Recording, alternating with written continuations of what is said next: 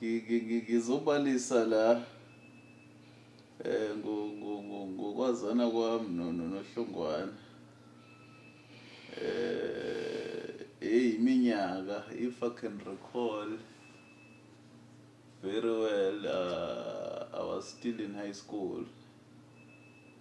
Eh ngihlala komunye umuzi lapha wakamdepa eClydesdale and eh eh, babephanda bonke nabo Bashini Manci eh uBashini asihlala naye lapha so njengomuntu wayiphanda naye kuhlongwana wayinokufika lapha. Eh bedosa kanzima.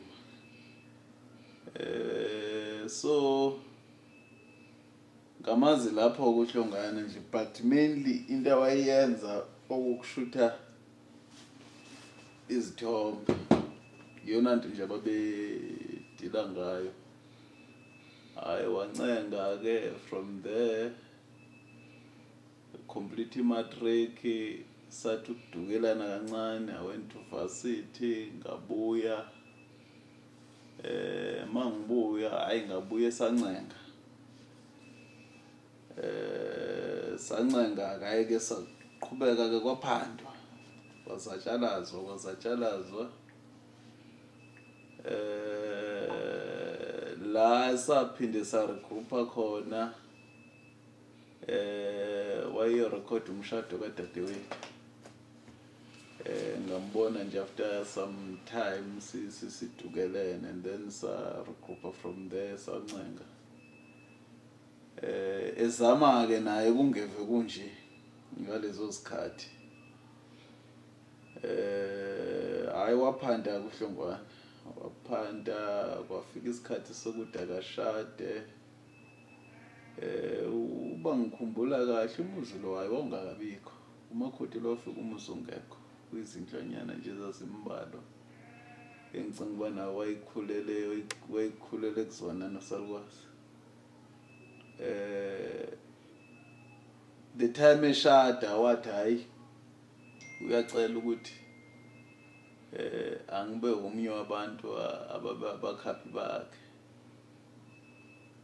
Eh as much ngaleso sikhathi ke kwangekho ma resources atheni but yiko nje ukuthi ke eh uyindoda e e- ethandayo ukuthi yonke into asuke yenza ibe impumelelo uyabo? Because eh knowing ngoba phela umuntu engangiphila naye knowing isimo sakhe sangaleso sikhathi nendlela umshado wakho organize ngakhona I- was a bit surprised ukuthi le ndoda eh ngaba i- ithatheni yahlanganisa nani? Because eh umuntu phela maniphila isimo sakhe uyasazi yabo now uma sowubheka isimo leso saziyo against ukubona ngaleso sikhathi ah uh, I was impressed eh because ke ngangumuntu owayengekho kwibox kwiback seat I was part and parcel.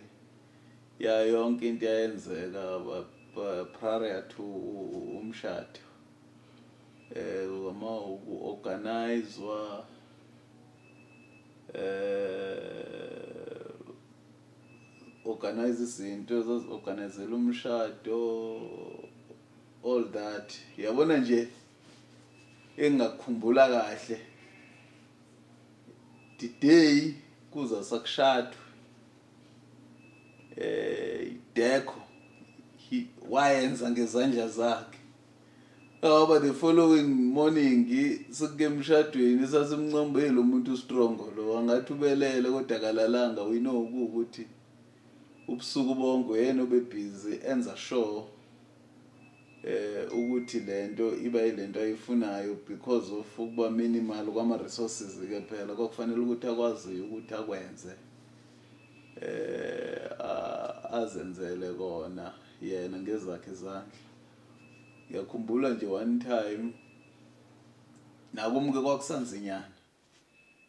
Ngisebenzise elinye ikhosa lenye ibhakanyana la ye yekhosa and yena imoto ewayinayo wayene-uno kuphela wayengenayo enye imoto so kwawukuthi um ufuna ukulayisha izikrini um silungiselela wona umshado lowo Uh, we went uh, emlazi to some guy well established um uh, babethi ufeli eh, that that guy was well established.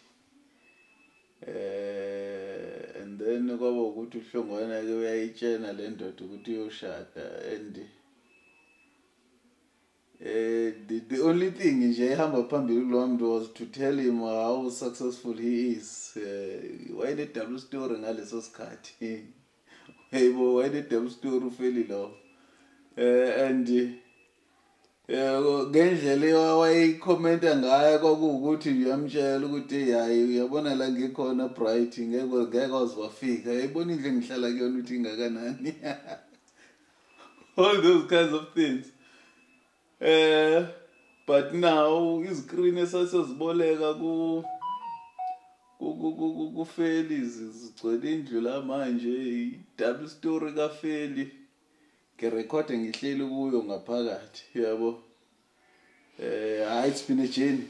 It's, it's, I can witness it abanye abantu mhlambe uhlungana bamazi manje mina eh ngohlongana I can, I can write a book uh, I can write a book eh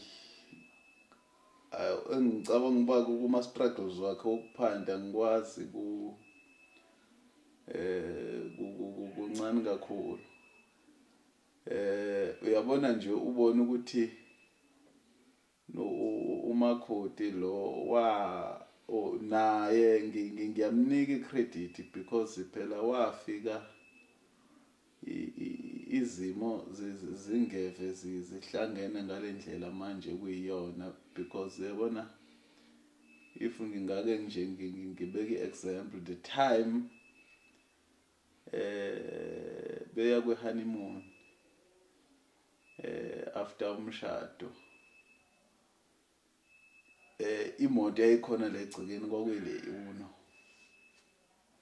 and into ababenazo zazincane futhi ke ngiyasola uno nesimo sempilo angathi sasingasihlanga kahle ngoba kwagcina kuukuthi eh mabeye Cape Town eh ku honeymoon eh angibathathe ngale Khosa Park yami eh kwawukuthi ngithi hayi mfowethu ngoba phela uhamba nonkosikazi wakho la eh mina ngizahlala ngemva lebhakini wena udrive eh umakhoti ahlale la ecaleni.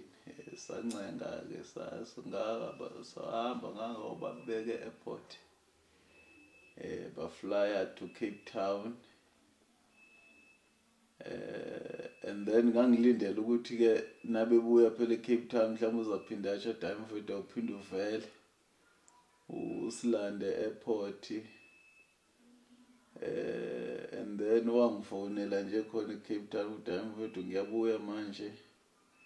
Eh khona esinye isikorokoranyana engisitholile la ngizabe sengibuya ngaso.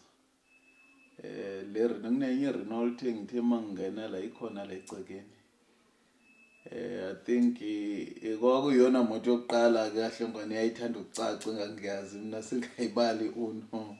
Uyabo imoto nje wayekwazi ukuthi amove from point A to point B.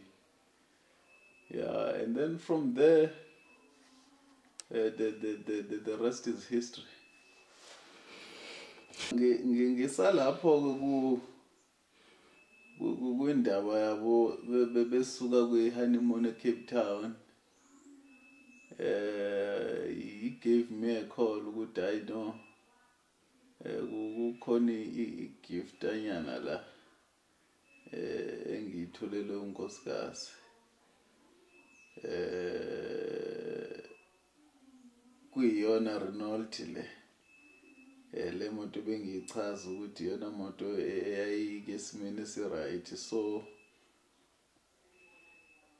yona lo moto mayithenga wayengazithengeli yena wathengela umakhoti. And I- if i'm not mistaken i think umakhodi wakudriver loko wakufunda kuyona leyo moto yeah on their way back uh, uthi wamfundisa bancenga baze bazofika la because uh, i think after a day or two eh ngamthinta just nje ngifuna ukuvuka ukuthi bahambe bafika yini washo that i know eh sincengile ngayo le moto sila ekhaya manje. Eh uyena umakhoti ngimfundisa along the way you drive.